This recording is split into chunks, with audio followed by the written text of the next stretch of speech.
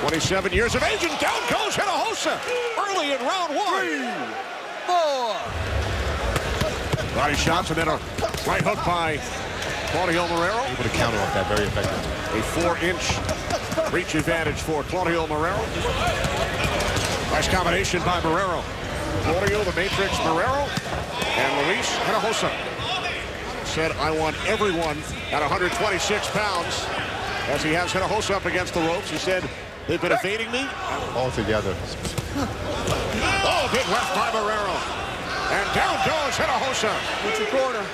Three.